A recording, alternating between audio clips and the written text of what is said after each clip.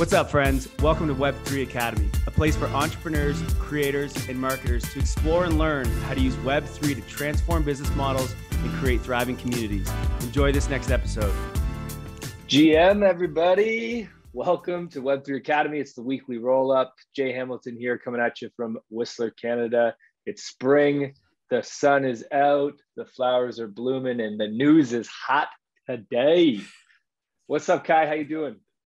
I'm amazing. The news this past week is as hot as it is here in Popoyo, Nicaragua. It's crazy hot. Uh, there's a mat, well, not massive, but there's a big swell here right now. So the waves are crazy. If I open up the door, you can actually just hear them slam the beach uh, every couple seconds. Uh, it's crazy here right now. It's a lot of fun. Uh, I'm stoked. This is a crazy week. So buckle up, everybody. We got a lot coming at you. Uh, Elon uh, looking to take free speech to Twitter uh, with a huge offer. We're going to talk about that. That just happened earlier today before we started recording. Um, we're going to talk about uh, ETH and the merge uh, and the first top profitable blockchain. Uh, we're going to really dive into that. There's a lot that we think that everybody should be understanding around tokenomics and profitability as a blockchain and what's happening with the merge. So you guys understand that. Um, then we're going to jump into some stuff around the metaverse, what's going on with the metaverse. A lot of people getting into that space. I'm sure everybody's hearing about it constantly. I want to make sure you guys are informed there. Um, and then we're going to wrap up with uh, uh, our protocol tool of the month. Uh, so lots of great, exciting news for you today. I think I might even have forgot a few things that we're going to mention. Yeah, there's so much. Say, Bored Ape Yacht Club, Coinbase. That's movie? right. I did. Movie, yeah. film? Movie? I don't know. We'll talk on that too. so much coming. But before we get started, uh, let's just share some quick gratitude. Um, Kyle, why don't you go first? What are you grateful for today? Ooh, what am I grateful for today? Um, I am grateful for um, our team at Impact Digital Marketing slash Web3 Academy. Um, we've uh, we have a team of I don't know what it is, eight or so at Impact Digital mm-hmm. Marketing, and uh, they just we've seen some incredible growth from our team. Everyone is just doing some amazing things. Uh, our clients are doing incredible. Um, and uh, it's just really, really cool. We've never met any of them because we were all completely remote.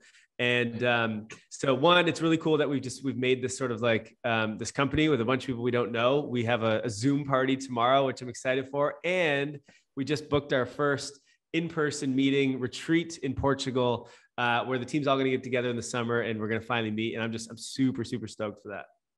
That's right. So if anybody anybody uh, any listeners out there, if you're going to be in Portugal in August, hit us up. Uh, we'd love to uh, to meet you, see you in person. Maybe have you on the podcast. We can do an in person podcast. Kyle and I have never even done an in person podcast. Uh, so yeah, very exciting. I am grateful. I'm gonna. I, I agree with you, everything Kyle said, but I'm I'm grateful for old friends. Uh, I've got a couple of old friends visiting. Um, it's just amazing when you haven't seen friends in years and then you meet up and you've never skipped a beat. There's just something about friendship that is um, so so special. So very grateful Absolutely. for old friends. Uh, By the way, we have a new gratitude section in the Discord, in our Discord channel. If you're not in right. our Discord, go join Web3 Academy Discord. It's in the show notes below. And we've got a, a, bunch of new channels there. One of them is gratitude, and it's probably our hottest channel there is. Um, share some gratitude. We want to know. Yeah. Let's be grateful. Yeah, let's be grateful. Um, okay, before we jump into the news, Kyle, drum roll. What's the Web3 word of the week? Gosh.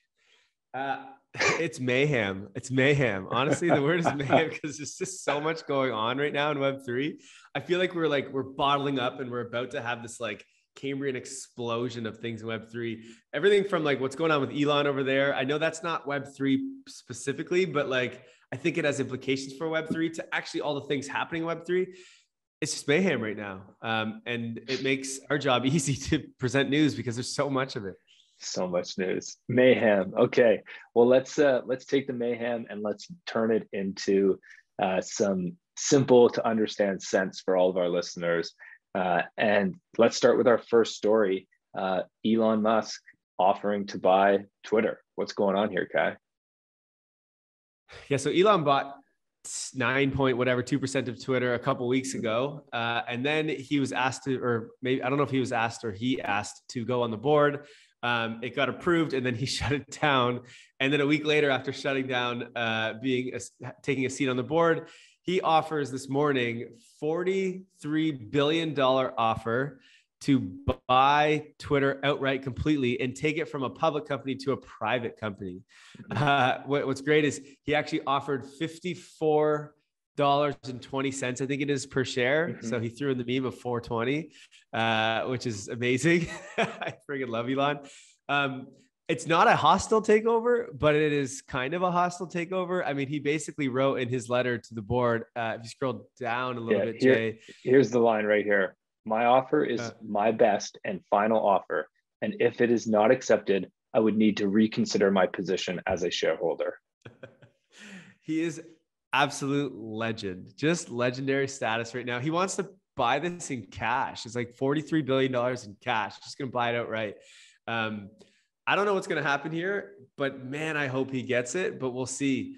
He's got a good argument and he's giving a great offer. And him removing his investment or selling his investment will probably make Twitter stock tank. Um, so we'll see. So the reason why this is happening, or not, not the reason, but one of the main reasons he's doing this is Elon is a big proponent of freedom of speech, right? And mm-hmm. most social platforms right now are um, are are censoring content. Uh, and Twitter's going that way as well, especially with um, Jack Dorsey um, leaving um, the new board and the new CEO. I can't remember his name, um, but he is more known to be okay with censoring content. Mm-hmm. Um, and Elon doesn't think that that should happen. And honestly, one of the things that I think when I think of Twitter, it's different than a social platform like Facebook and Instagram and TikTok and all this stuff. Like these are places for people to, I don't know, put up pictures and promote, you know, what they're doing and things. It's it's it's a social place. Twitter is different. It's almost like a communication platform for the world, mm-hmm. is the way that I see it. It's like a lot of big thinkers, a lot of big companies, and it's where they just like actually communicate with one another. And if we ever like, let's think worst case scenario, got into this like, um, you know, uh, tyrant world where governments or whoever one person took over and like just like block the internet, like what's happening in North Korea or China, et cetera. Like we wouldn't have a place to speak with everyone around the world. It would not exist. And I think Elon really wants that for Twitter. It's a place for us to communicate with anyone in the world and just have freedom of speech. And I'm pretty sure he's trying to do that. I feel like there's going to be other people who don't want this to happen, whether that's governments or it's, I don't know, the board of Twitter, but someone doesn't want this to happen, I'm sure, but we'll see what happens here. Well, as he says in his letter here, uh, let me just read a few lines. He says, I invested in Twitter as I believe in its potential to be the platform for free speech around the globe. And I believe free speech is a societal imperative for a functioning democracy. However, since making my investment, I now realize the company will neither thrive nor serve the societal imperative in its current form. Twitter needs to be transformed as a private company. Then he goes on to make the offer, which is uh, uh seems to be a very high offer. I mean, I'm not uh, an expert in the Twitter um, current price and their their off their their stock, but he's offering something a 54% premium over the day before he began investing in Twitter. Um, and he basically his last line is Twitter has ex- extraordinary potential. I will unlock it. Now, here's the um, so we have another take that's here. Uh, Sam Bankman Fried, who's the founder of FTX and, and one of the richest uh, people in the world as well. He put in a, a, he created this thread about decentralizing Twitter because it's very interesting. And it actually goes on to what we talked about. I think it was last week in the roll up when we were talking about Lens Protocol and, mm-hmm. um, and decentralizing social media. Because here's the thing it would be great for Elon to, you know, own Twitter and to take it private and to be able to, you know, uh, improve freedom of speech uh, and make sure that that stays around. But he, it's still a centralized entity. He still owns it, one person. Yeah, and if one, one day he wakes up and he decides that he doesn't almost... want freedom of speech anymore, yeah. um, he could change that. And so the idea of Web three is to no longer have to trust one individual or one corporation. Although Elon is cool as hell and we like him, and maybe he's going to support the ethos of what we want doesn't matter. The idea of Web3 is that we just don't ever want to have to trust anything regardless. And that's what the blockchain does and decentralization does is it allows us to just never have to trust, right? It allows it to just be and exist without mm-hmm. asking for permission, without trusting anything. And so SBF here, he sort of gave his breakdown of like what could be possible with Twitter if we were to decentralize Twitter. Um, and so basically, what he says is um, so he, he, kind of broke down some points. So one is tweets go on chain and encrypted. And so the sender chooses who has access to them and, and who can decrypt. So who can see the messages that they're putting. he's like, basically this already exists. He's like, it's essentially your public tweets versus your DMs. He's like, now they would just be the same thing on the blockchain. You just choose if there's a privacy setting that only, you know, Jay can read a tweet um, or everyone can read a tweet, or maybe only certain people who own a specific NFT can see a tweet. You could kind of decide who sees what. So there's privacy settings there, and that's chosen through on chain, so it can't be can't be censored in any way. Um, mm-hmm. Then he went on to talk about monetization, um, which is interesting, and I don't know if this makes sense, but here's what he said. He goes, "You can monetize in a few ways. One is at a tweet level. So the underlying underlying protocol charges something per message." So he's like at 500 million tweets per day, which I assume is what's currently happening. It's like less than one cent or about a cent per tweet would replace half of Twitter's revenue. Um, 0.001 cent per tweet would replace their profit. Um, this there's a couple cool implications here. Like if it was one cent per tweet, it's not really that big of a deal. Most most people can afford that. Not everyone, but some. Um, I guess there's two things here. One, it gets rid of bots right? Because mm-hmm. who's going to pay now to have these bots just tweeting and doing all these stupid things? Like the amount of engagement farming and like ridiculous tweets I get on Twitter is just, it's insane. This might help with that. The other problem is there are people in the world that one cent per tweet is, I don't want to say expensive, but could be, you know, mm-hmm. could dip into their um, access income. Um, and so does that get rid of freedom of speech? I was going to say, yeah, you... it's no longer free speech because you got to pay for it. So mm-hmm. I don't know about that. Um, he says the other way you could do it is from a UI level. Um, so the UI could be monetized. This kind of goes in hand with what we're talking about with Lens Protocol, where Twitter becomes a think of it like an RSS feed, right? If you know, RSS feeds is how we do like newsletters and how we do podcasts, where there's no UI to it, so user interface um, mm-hmm. but it is a feed and then people can tap into it. Like spotify taps into rss feeds for podcasts and so does apple podcasts and substack etc and you can build out your own user interfaces. And now there's a, a, a, cost to either build your own ui or to sell a ui to others kind of thing. And twitter can take a cut of that. Um, mm-hmm. so it ends up being this sort of decentralized um, protocol underneath and then companies build on top of it. So that's another option to sort of monetize there um, which is kind of cool, I think. Um, what else did you say?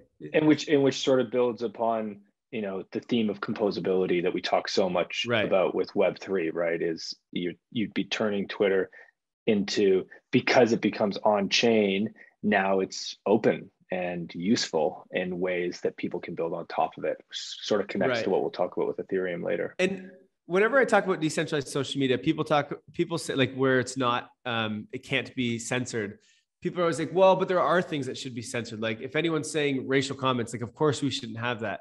And it's like, yes, I, I agree. Of course, I don't want there to be a platform where you can just like put racial comments or you can degrade whatever. Um, but there are ways of dealing with that. Reddit, for example, has upvoting and downvoting, right? And so you can just put that, but as on chain. So people actually have to vote. And if it gets enough downvotes, maybe the protocol then hides it, right? Um, I don't know. There's mm-hmm. things you could do. The other idea here is if it's all on chain, um, it would be very easy to integrate things like tips and payments and monetization for content creators, right? Um, very easy because it's already integrated on the blockchain. You can integrate, which is already on Twitter, but NFT profile pictures and avatars.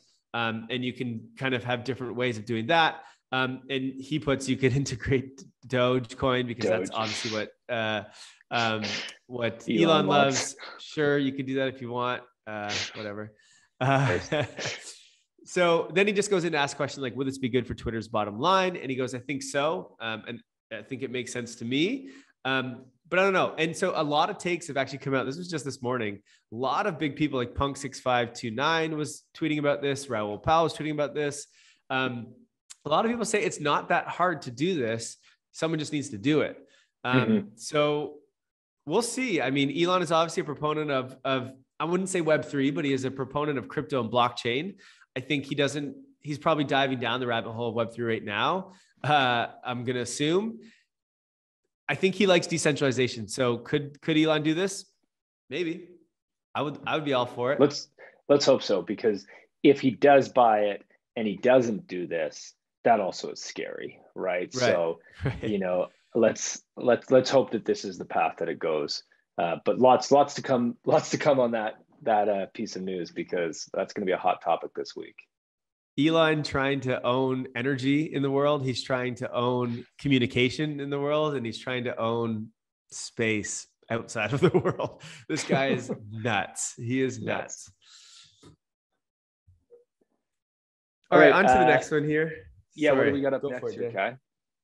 So no, you can uh, to, take it over.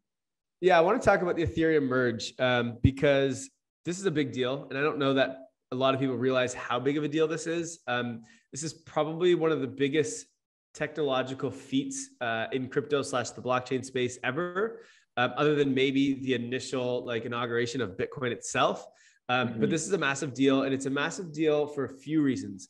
Um, one for the technological feat, I think this is really really cool. It's a massive deal for um, the largest smart contract platform to um, change up their tokenomics, which is a really big deal.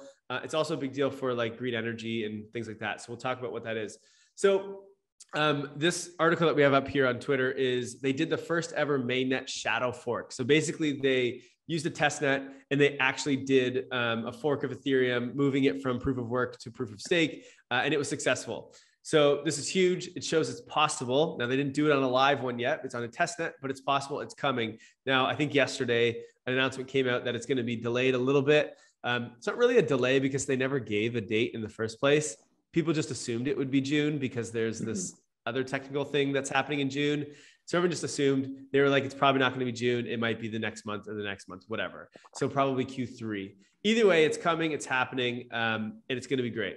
Now, um, the merge is not about fees. It is not going to decrease fees on Ethereum. That's not what this has to do. It does set up some technological components so that they can do other things to uh, lower fees.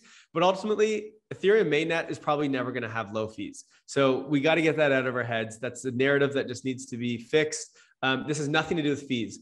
What this is doing is simply re- um, removing miners from securing the network and introducing stakers. Okay, stakers is like Solana, Terra, all these things. They have stakers that that do it, um, that secure the network.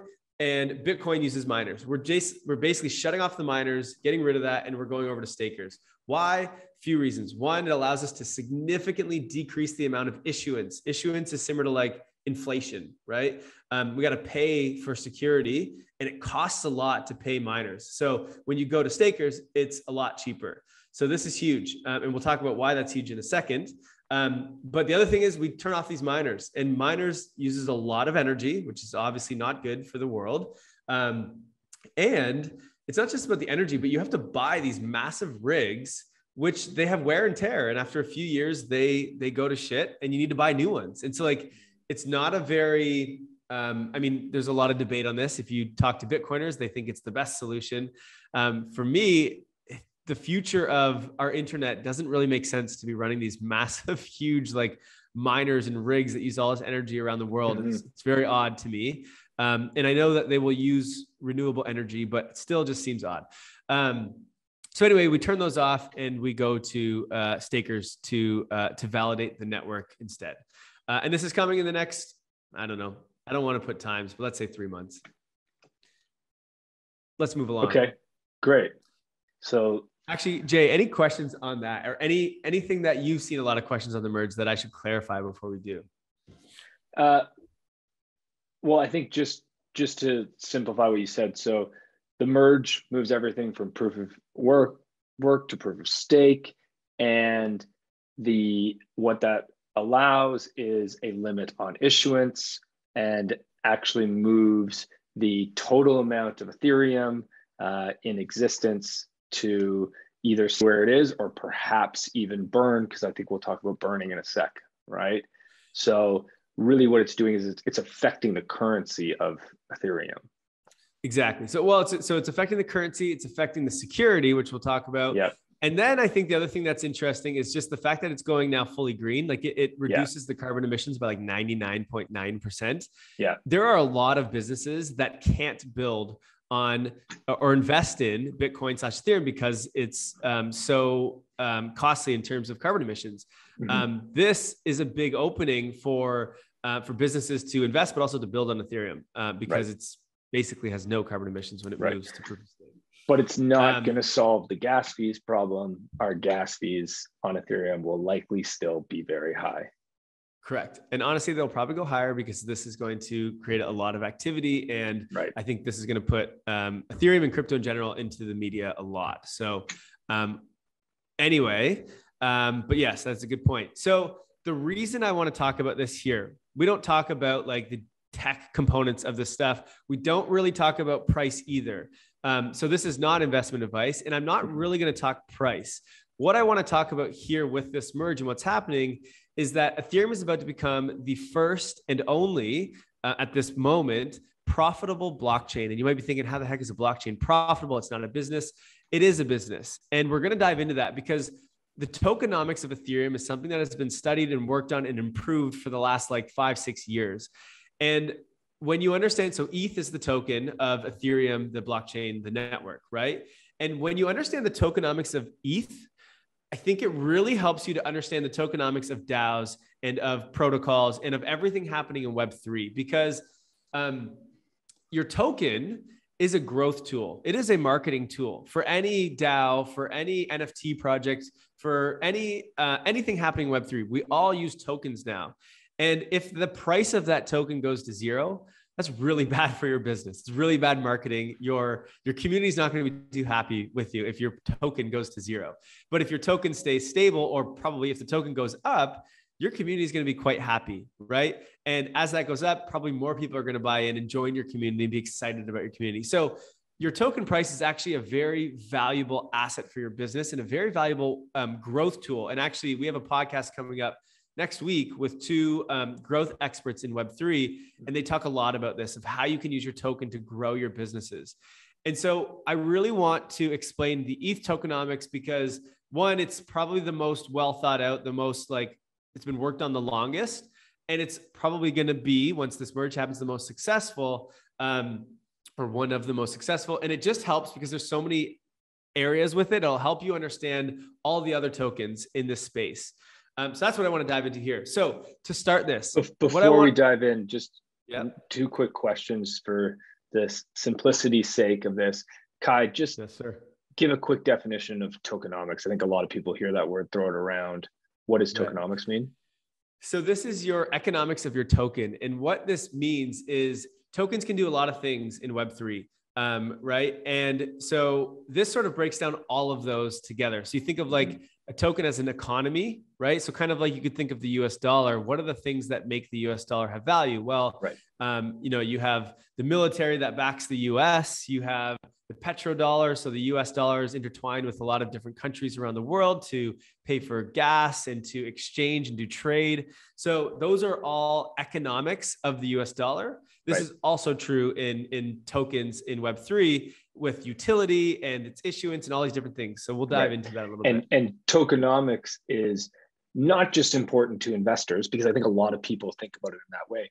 It's important to any business owner, any entrepreneur, any creator, any artist that wants to use Web3 because exactly. tokenomics is not just the prices that we see of Bitcoin and of Ethereum tokenomics also would be considered if you were to launch an NFT, because Correct. that's another form that's just a non-fungible token, right? And so I think that this has these learnings in this discussion has value to any business owner, anybody that is creating something in Web3, because as you said, the structure and the strategy with which you consider your token is what gives it value, which in turn is what makes your community more bought in and gives right. them more reason to participate.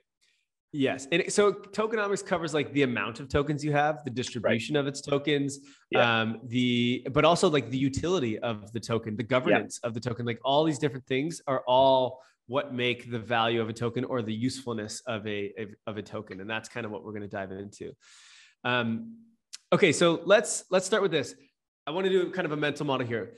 I want everyone to think of blockchains as a business because they actually are a business. And what is the business that blockchains are in? Well, they are in the business of selling block space.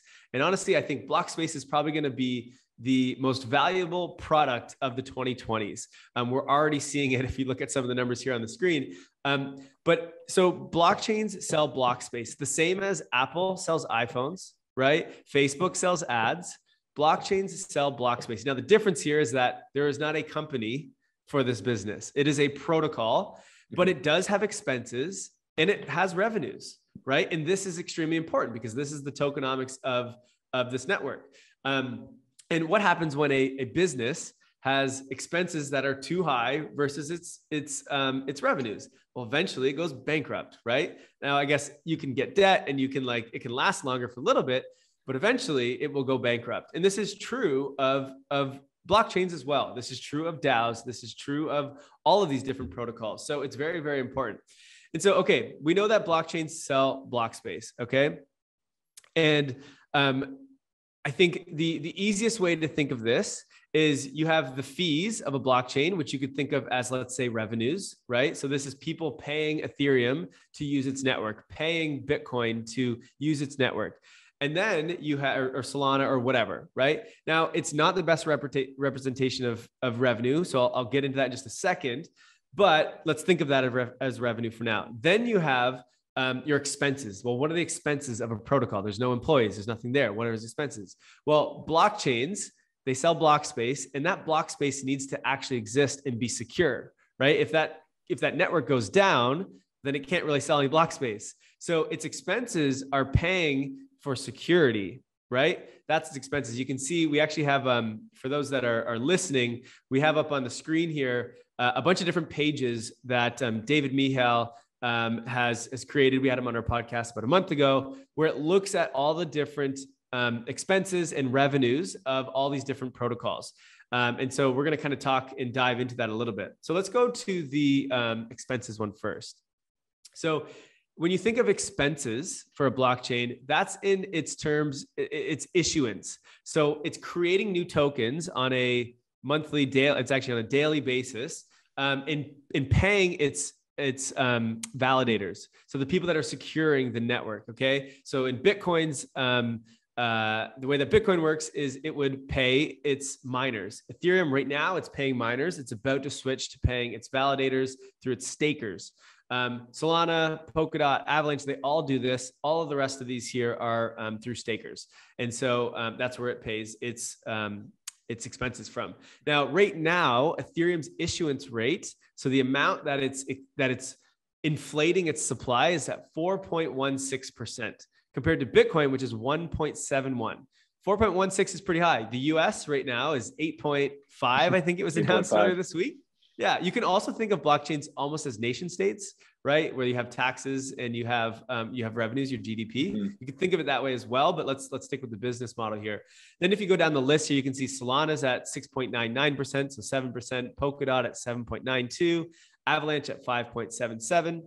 So in terms of like number value, Ethereum is the highest. Its daily issuance is $42 million a day. It's mm-hmm. creating an ETH to validate and secure the network. Bitcoin is 37 million, Solana is 10 million, Avalanche is 5 million, and the list goes on and on. Some of these things are super high, but um, but that's okay.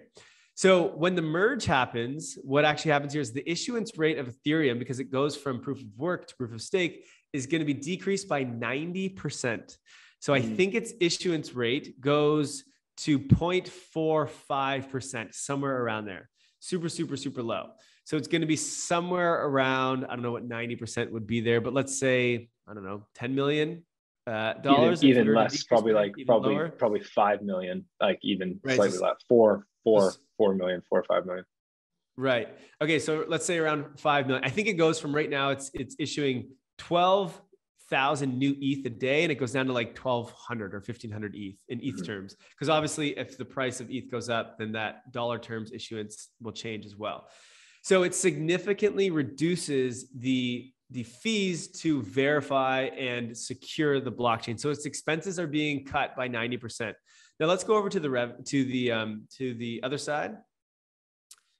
To the left, yeah. So this is crypto fees. So right now, ETH is is earning, let's say, or or, or is generating sixteen million dollars in fees um, per day. So that's not profitable, right? Right now, I think mm-hmm. it's forty. What do we say? Forty, whatever. 42, 40, yeah.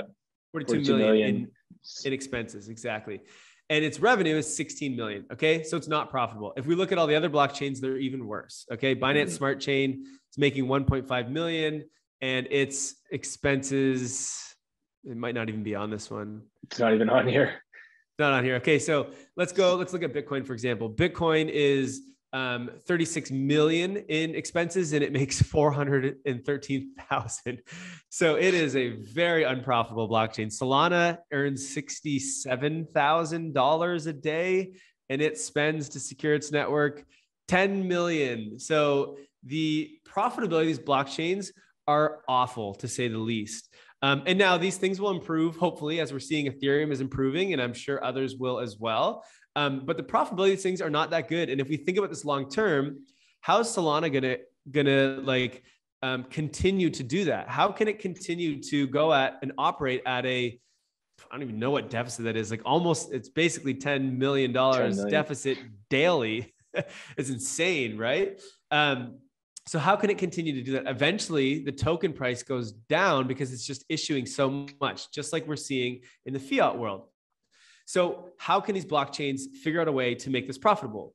Well, let's go to the next um, thing here. So, this is something that Ethereum did is they initiated um, an ETH burn, and basically what this is is it takes some of those fees, right? So we said its fees were at uh, what was it, 16 million, and it burns them. And so in Ethereum's case, I think it's burning something like 80% of its fees. I don't know what it is. So this one Actually, this one is we can see total. That's total. Can we see burn in the day?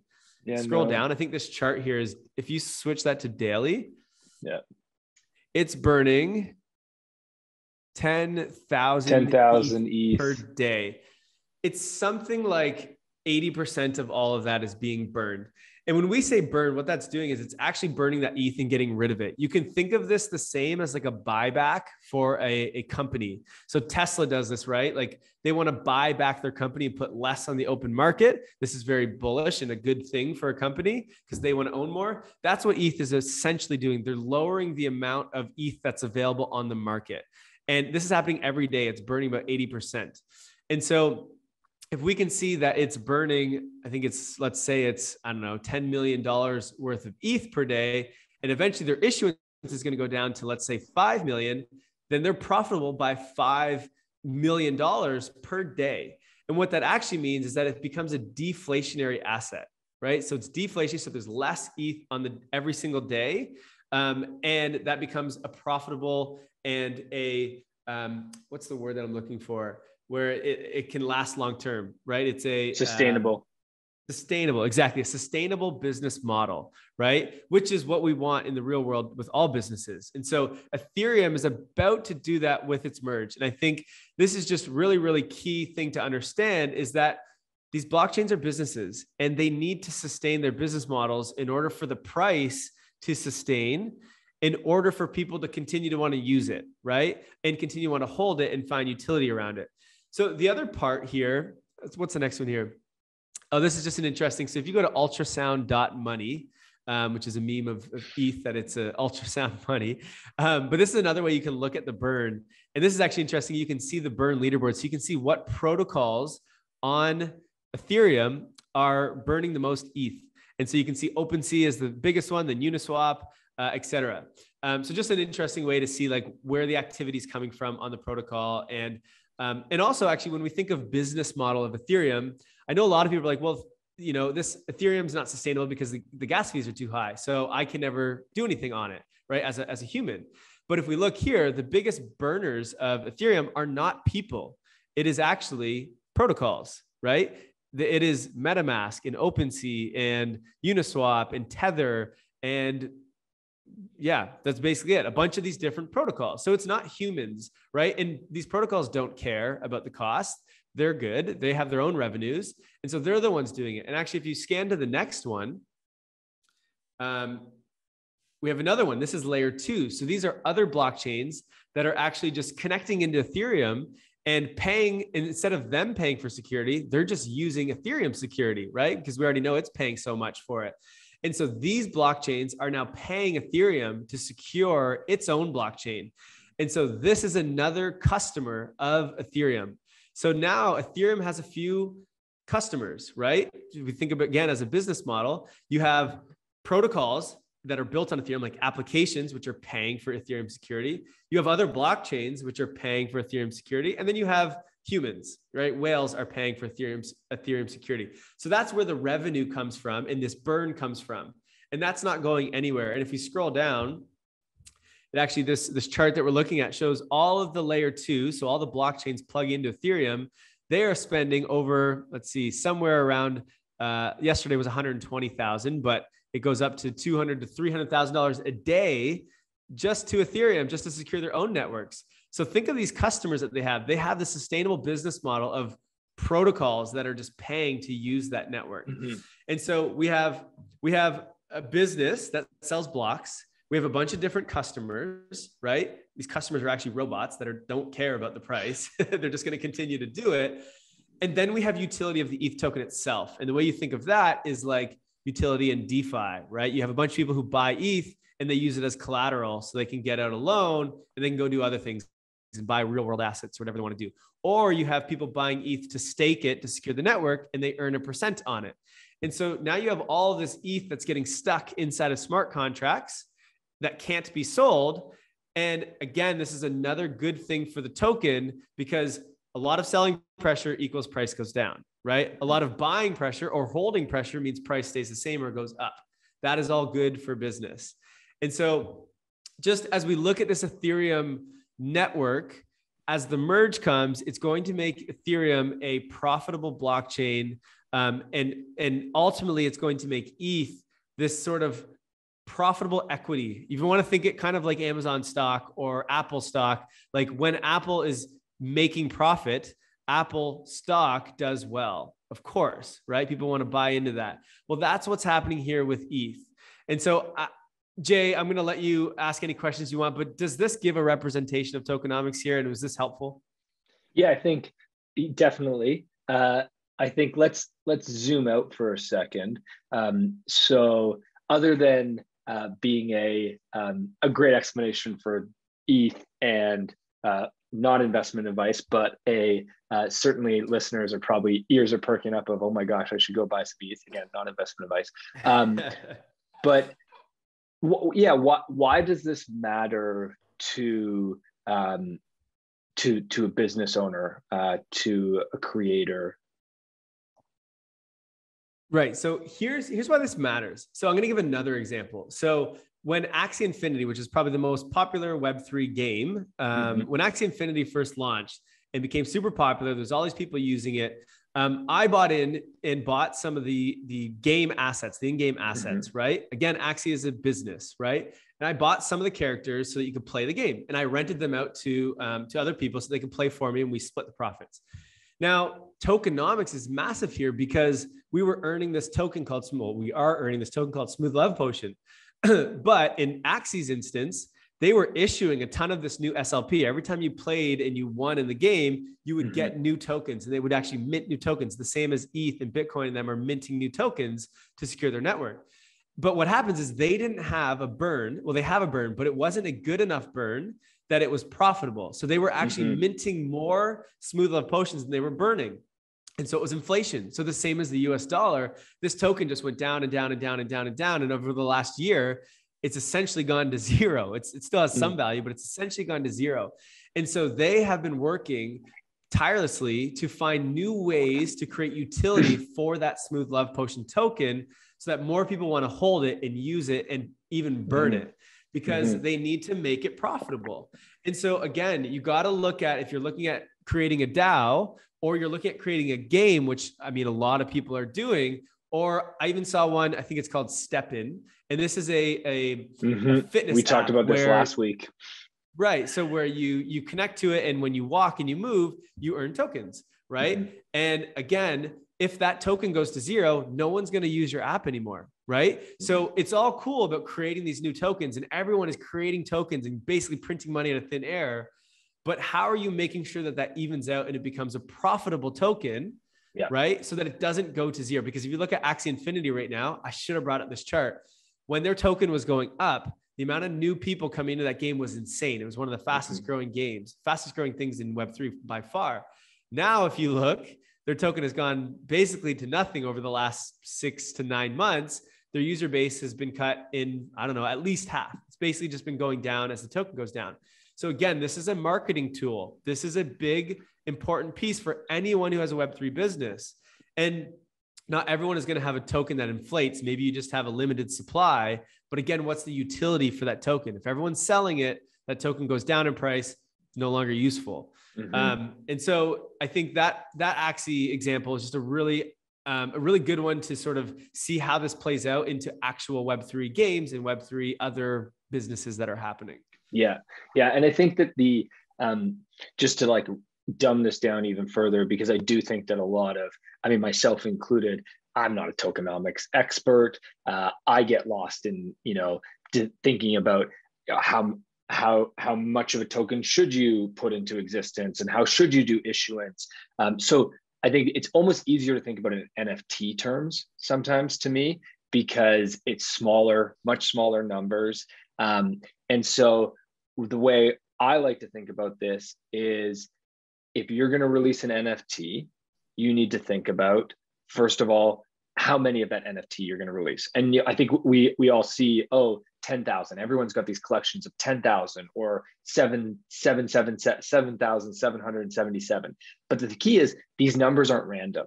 What you need to think about is how many people in your community do you have that actually value the token, the NFT that you're going to create so that you can ensure that you have enough of a community that's going to buy it. So maybe in the beginning, start with 100 NFTs instead of 10,000 NFTs if that's the size of your community. And then, so you think about first is, okay, how many community members that I have that are going to engage? And then second is, what's the utility in order to keep my community members involved so they're not just, you know, pump and dump, right? Right. Scarcity and utility. Those yes. are kind of the two big categories are, of yeah. let's call it tokenomics or whatever. But scarcity matters. Yes. utility matters. Those are the two big things to think about. Um, and by the way, this is not one, it was not investment advice for ETH by any means.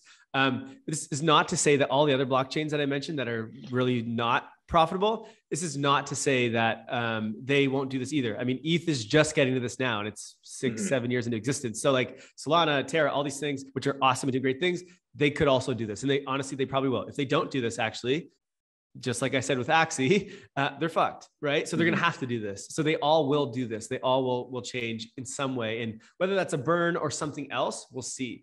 Um, but uh, let's let's skip this um, layer two one here, actually, uh, Jay, and, and let's move on. All right, let's move on to Kwon because Kwon gives us news every week. Uh, what does, what did Kwon do? What did the master of stablecoin do this week? the master of ego. What did he do? yeah, yeah, the master of ego. I like that. Yeah, if you guys are not following this, like follow it. One because like it's just it's very new of what's happening here in crypto. You know, Terra, Kwon, by the way, or Do Kwon, I think it is, is the founder of, of Terra Luna. They're buying up all this Bitcoin. I think they're at, I don't even know what it is now, a couple billion worth of Bitcoin they have. Mm-hmm. Uh, but they they actually bought, uh, this is kind of random, but I, I see what they're doing here, but they bought $100 million worth of AVAX, which is the Avalanche token, another layer one. You could think of them almost as a competitor to Terra, but not really, because Terra is trying to get their, their stablecoin on, on a bunch of different blockchains. But what's interesting in the way they did this, they didn't actually buy the hundred million dollars in AVAX. They they swapped Luna tokens for AVAX tokens. And so this is another form of utility for your token. This actually plays in with tokenomics here. It's a marketing tool. This was more marketing more than like they weren't buying or getting this 100 million of AVAX to like backstop the the peg of UST, the stablecoin like they are with Bitcoin.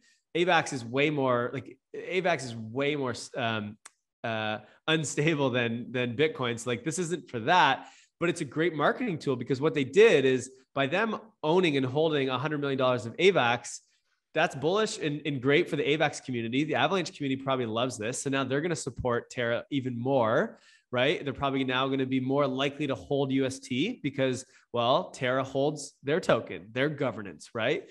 Um, mm-hmm. Um, so it's a great sort of like partnership like let's say i don't know apple ever partnered with i don't know facebook or something mm-hmm. they could exchange stock right i mean no, they would never do that but they would exchange yeah. stock now it's hard to do in the traditional world very easy to do in the web3 world and i think this is where daos are going to do this a lot and even nft projects right? Mm-hmm. You want to partner with another DAO or another NFT project. You share some of your assets, and now you both mm-hmm. have some um, some stake in the game, right? Um, and so I think that's that's really interesting.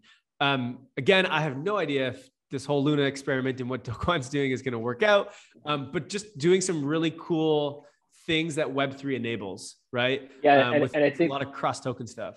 And, and, I think there's some some yeah some interesting points here. Uh, is one you mentioned um, trying to do this with a public company would be would take six months due diligence lawyers the burden would be huge to do a, a stock swap like this right um, so it's much quicker in web3 and then on the blockchain you can move fast you can make make moves like this but the other big thing is like you said it it allows sort of this web this web3 mantra this web3 philosophy of WAGMI, right? We always talk about like we're all going to make it we're in this together.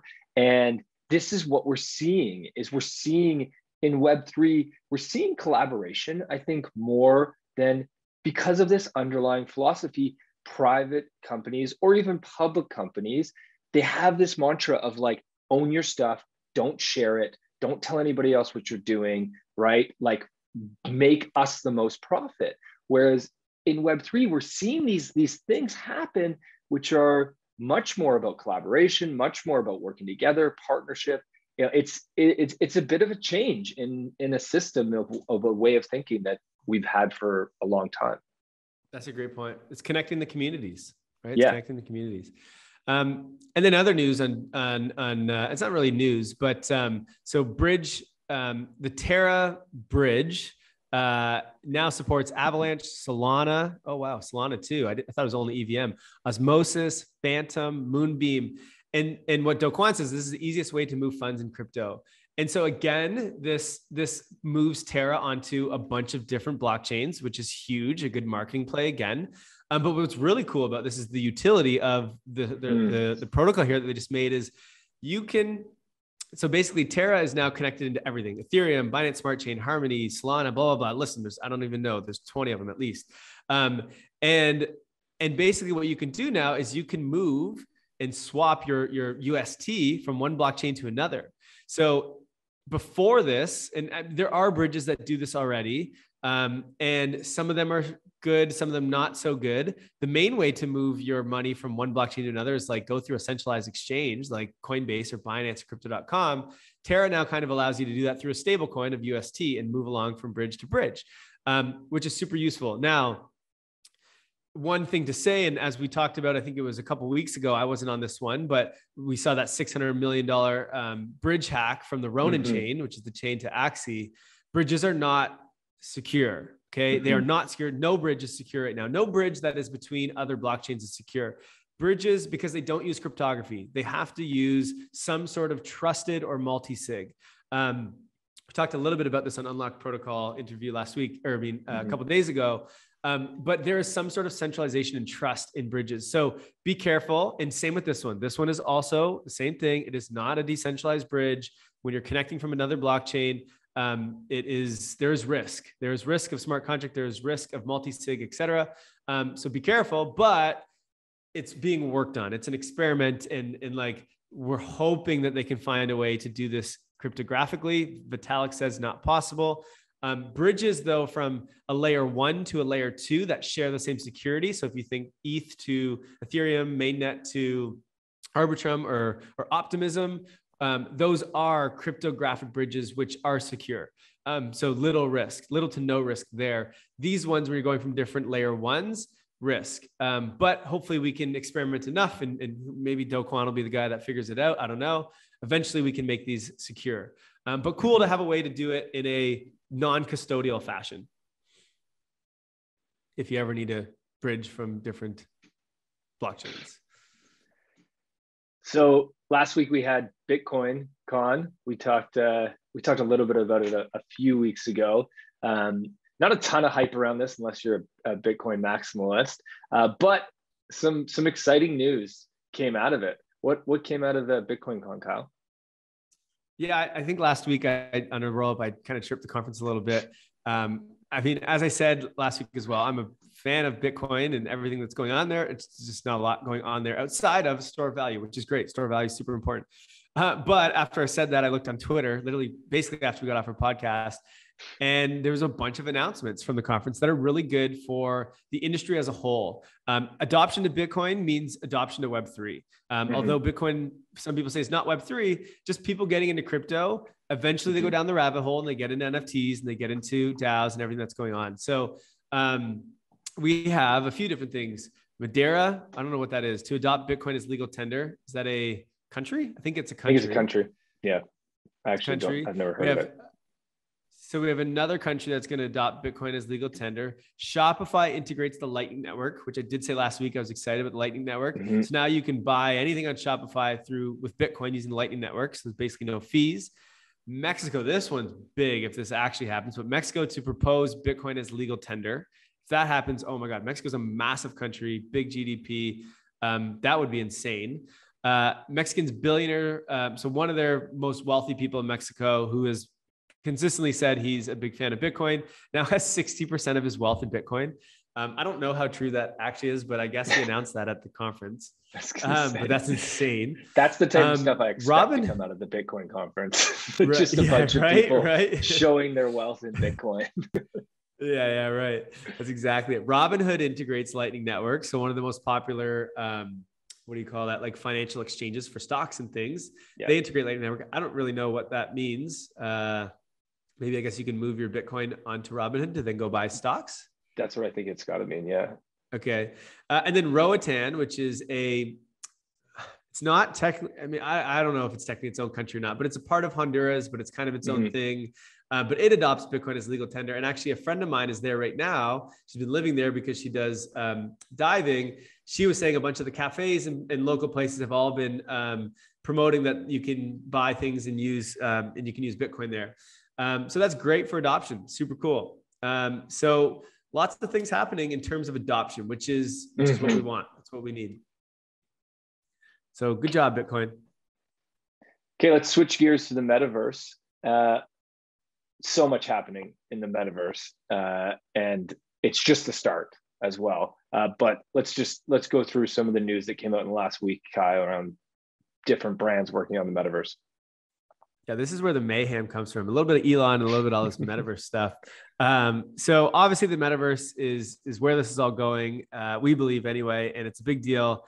And I mean, every, I think every week we talk about someone that's in metaverse is going to be a big deal, or it's going to be worth mm-hmm. this much, or they're going to build a metaverse. So this week, I think the one I'm most excited about so far that I've seen is um, Lego and Epic Games um, announced that they're going to build a metaverse that's going to be a kick ass metaverse. I don't care what everyone says. That's cool as hell. and Epic Games is a massive um, uh, gaming company. I think the biggest in the world.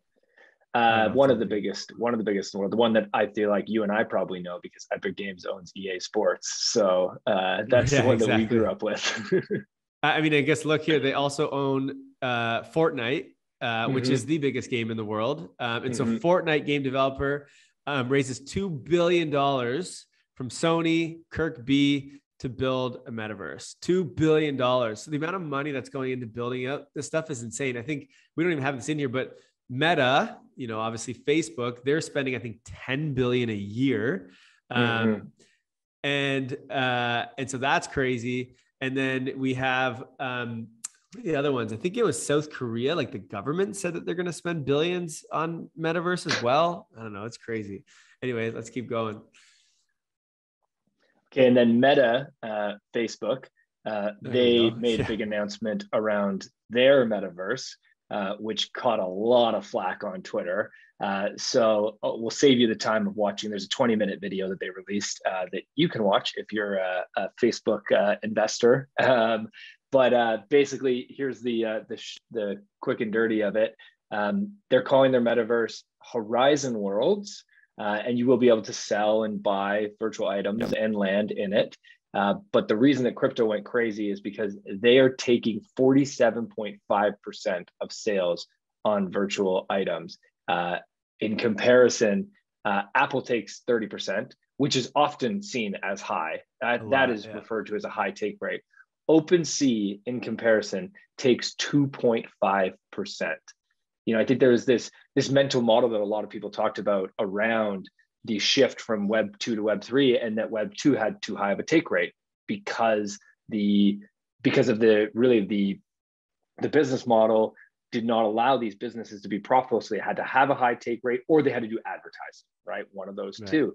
And that web 3 could have this lower take rate and this is why we all don't want meta to create the metaverse uh, because they're just going to i mean I guess Facebook and Instagram right now take 100%. So maybe maybe this do. is actually a deal in comparison to what you're getting with them right now. Um, but to play devil's advocate, this is the head start that Meta has is um, they they they're they announced a fund, like a creators fund. So they have $10 million that they're going to give away to creators to build in their metaverse and use their platform on Horizon Worlds. Uh, and then also don't forget that Facebook owns Oculus, and Oculus is one of the largest uh, virtual reality hard pieces of hardware. And they have currently 2.5 million daily active users on Oculus. So that really gives them a head start. So, um, you know, we'll, we'll see how this all plays out.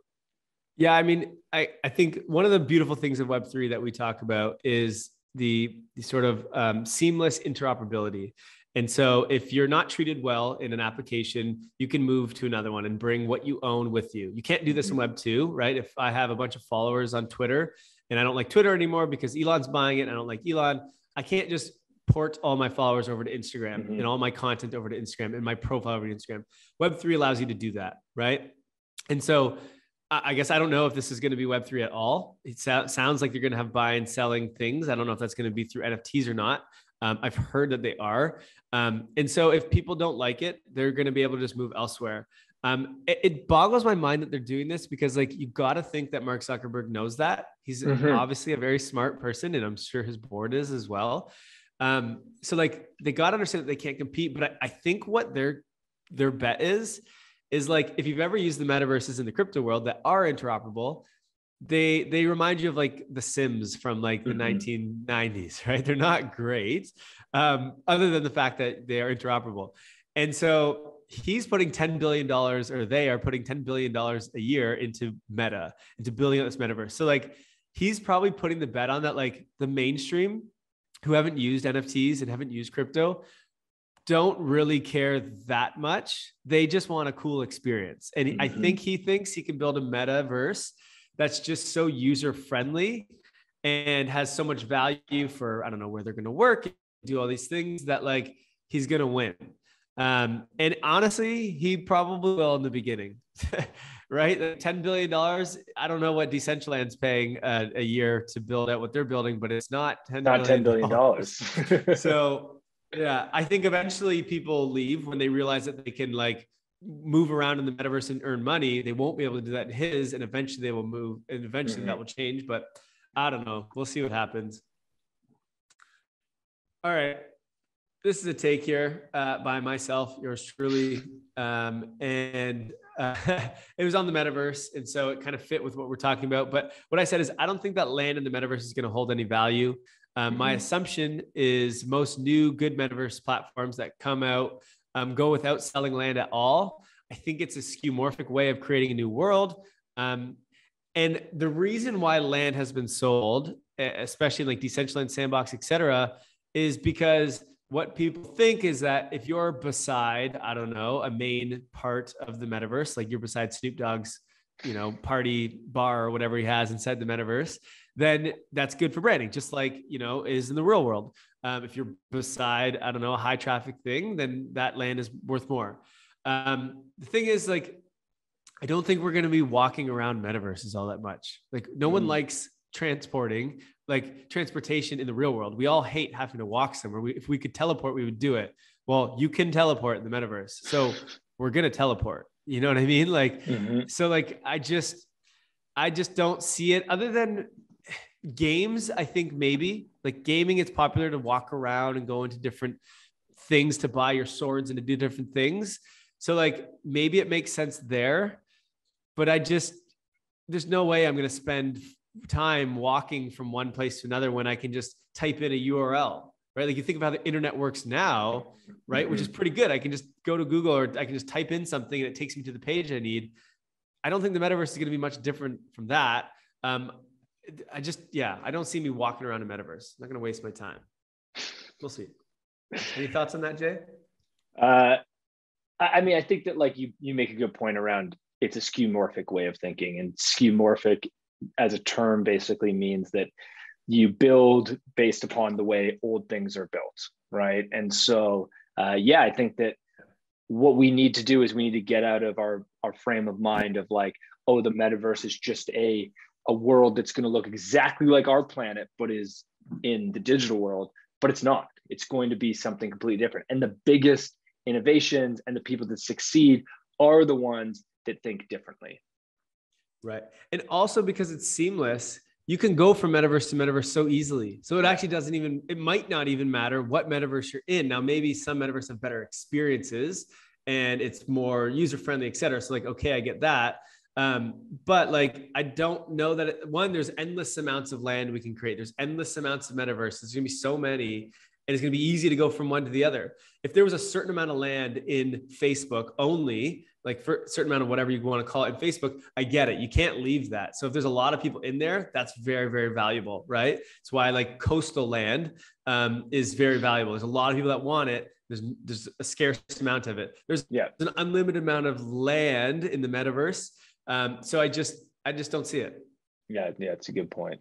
Um, just to uh, further make the the point if we haven't already and if you're not hearing enough that the metaverse is coming and happening and that every business should be thinking about it. Um, kpmg last week came out with a, a, a big report on the metaverse. They did some customer surveys. They wrote a big report. Uh, and kpmg is one of the largest consulting firms in the world. Uh, and they're saying hey if you don't have a metaverse strategy now you better you better get on top of it. Uh, and it's just a couple stats to share that came out of this study. I mean, it's like a hundred page report. You can go read it yourself. Uh, but um, one stat was really interesting was they estimate that 70% of businesses will have presence in the metaverse within the next five years. So that's how fast this is moving. Uh, and then I just wanted to call out a quote from one of their studies uh, that I really like. This is by um, a researcher from Australia's University of Technical uh, technology in Sydney. And she says, avatars will allow people to represent themselves beyond the limitations of status. There's the opportunity to alleviate people's identity beyond their wardrobe or how much money they have in their bank account. There's more freedom to express themselves beyond gender, representation, and social conventions. So we have this opportunity to be whoever we want to be, which is really attractive, obviously, to a lot of people who struggle with their social status, with the amount of money they have in their bank account, uh, and you can see really the attraction to to being in a digital world. It, it allows us to be some something else, and I hope that I mean that in a positive way, obviously not a negative way. Right, absolutely. I mean, we already kind of see this with like profile pictures on Twitter. The amount, like, I, probably 75% of people who uh, I see on Twitter have not themselves as their profile mm-hmm. picture. They represent themselves as something else. And I know, especially in the younger generation, that's even more popular. Um, and so, absolutely, I can see when you're walking around the metaverse, which you just said we probably won't do. Uh, but if you are, whether that's in a game or something else, you'd use an avatar, right? And you can decorate that avatar with clothes, just like you yourself. You can put hats and you can buy shoes and whatever, and um, you'll be able to express yourself in whatever ways you want, and probably in ways that we're not even thinking of. Because again, what we're doing is thinking skeuomorphic, right? Exactly. It'll probably be something completely different. Yeah, exactly. Uh, next up, if you haven't seen it already, uh, Bored Ape uh, is launching a three-part film.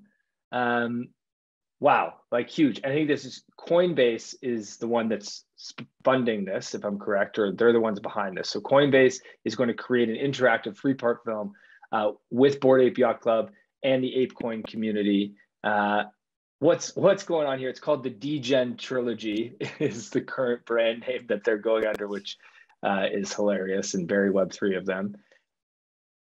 Kyle, what's going yeah, on? Yeah, I here? think you know it's it's funny if there's there's a couple uh, groups that we continue to talk about every single mm-hmm. week in our rollups. It's it's like Do Kwon and Terra Luna, uh, and then it's uh, and then it's Bored Ape Yacht Club, right? Mm-hmm. Just every week they're doing something. So yeah, Coinbase invested, and um, Coinbase Ape Coin, which is now that came out, um, and Bored Ape Yacht Club have all teamed up, and they're creating a three-part film um, featuring the Bored Ape Yacht Club communities. And so the first film is all about Bored Ape Yacht Club.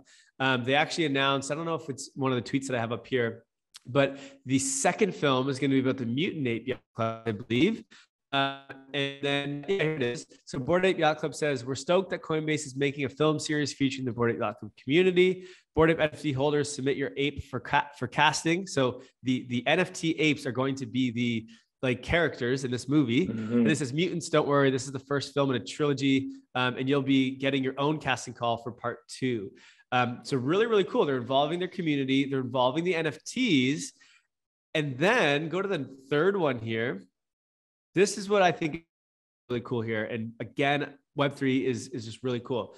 So um, this Josh Ong uh, tweeted out. He said, "Interesting solution by Coinbase for their Bored Ape movies. Licensing agreements will be minted as NFTs that will transfer with the ape to any future purchasers." So what he means here is those that get selected to be a part of the movie, if their ape shows um, in the movie, they're going to get paid, just like an actor would get paid. But this is no one they don't actually have to act. Maybe they'll do their they'll be the voice. I don't know like the owner could be the voice. I have no idea how that's going to work. Um, but uh, but so the the owners of those nfts will get paid for um, being a part of the the movie. Now you can sell your Bored Ape Yacht Club. And so then how does that work? And so coinbase's solution was well let's nft the rights to this mm-hmm. and let's attach it to the Bored Ape Yacht Club nft and so when you sell your nft and someone buys it, those rights move along with it. Um, and so now all of a sudden the new owner gets paid. So super, super cool. And just like obviously, this is where this world's going to go with movies and everything else. Um, super cool. Well done, Coinbase. Well done, Bored Ape Yacht Club again. Mm-hmm. Jeez. Mm-hmm. And ApeCoin, right? Utility. This is they're they're going to be probably owners of this movie. Um, helps the token. Everything's coming together. Incredible.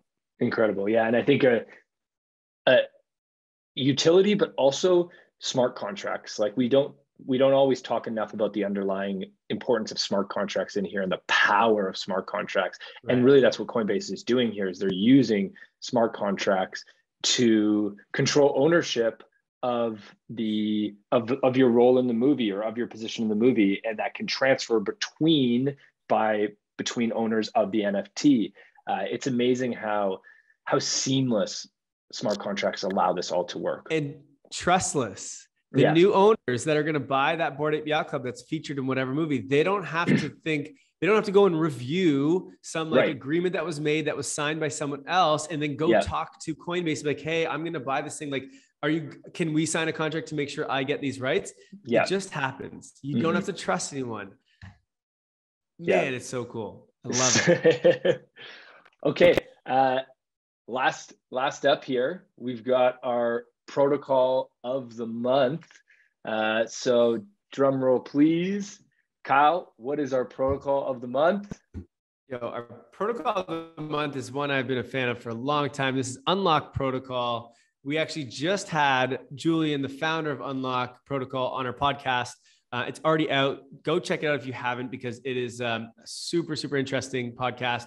Um, Julian's been in this space for a while. He's been building companies for a while. And um, Unlock Protocol is is unlocking a lot of new things for memberships specifically, but for creators and businesses, et cetera. Um, and basically, what it's unlocking is this sort of so there's a couple things actually that it's unlocking. So one, memberships now become an asset because instead of just like plugging in your credit card and paying monthly, you're you're buying an NFT and you're still paying monthly for this membership, but that NFT is an asset. And again, if we think about utility and scarcity, which is the theme of this podcast, I think, mm-hmm. um, if you have a scarce amount of membership, so maybe you only allow a thousand people to sign up for a VIP membership or something, that there's scarcity there. And if there's enough utility towards that scarce membership, that NFT might go up. And so you're paying for this membership and that asset might actually go up in price. So you're you're actually in this membership and it could be a good investment opportunity for you as well. So that is really cool. But the other thing is the interoperability of NFTs and Web3. And so right now it's very challenging to have a membership cross platform because they don't typically speak to each other, especially mm-hmm. big platforms like Facebook, Instagram, et cetera. And so when it's an NFT and it's in your wallet, well, that wallet connects to everything on the internet. And so now mm-hmm. you can have experiences and access and whatever you want with anything on the internet. And as long as that NFT there is there, that membership membership NFT, you get the features that um, that you've you've programmed in. And so Unlock um, has built this technology out. It's already live and available. People are using it. It is still a bit clunky. I will warn you there. It is still a bit clunky, um, but they're improving it just like the Web3 world is improving Web3. Um, but uh, a huge unlock, I think, for memberships. And um, I mean, memberships is one of the most popular sort of business models in the world. And I think it's becoming even more and more popular as we go. Um, and I think Unlock Protocol is going to be at the forefront of that um, as we move into Web3. Yeah. And I think what's so exciting about this to me uh, is, and credit to Julian and his team at Unlock Protocol, they are they're big thinkers and they're thinking about systemic change. Uh, they're not just building a, and let's be clear here, they're building a protocol, which means their objective is to not just be direct to consumer. Their objective is to also work with other apps who can build apps on top of their protocol. So they're trying to you know really affect that base layer um, but what i love about his approach is so currently we're in this attention economy when we think about the digital world right all like our attention is the biggest asset online and most revenue models of businesses online sell our attention for ads and then even worse they also have access to a lot of our data which creates a lot of concerns around privacy and security that we've all come up with, you know, that's come up in the media a lot over the last few years.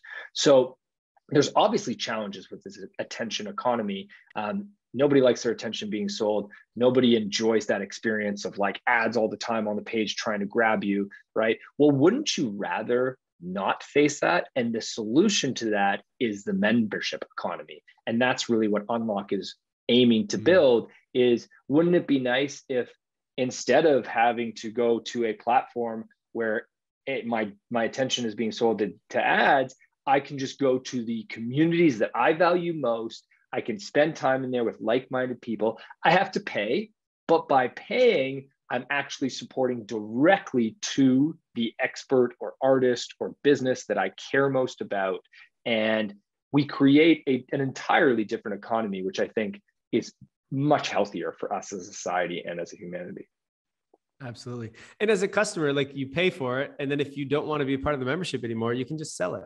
And well, exactly, maybe you yeah. sell it uh, for an appreciating price. But if not, like let's say you have a half a year left in your membership, you can sell that half a year to someone else yeah. or, or trade it. Right. Like, yeah. Um, so yeah, lots of cool things. Check out that podcast. Um, it was a, a mind blowing podcast and um, was super excited to have him on.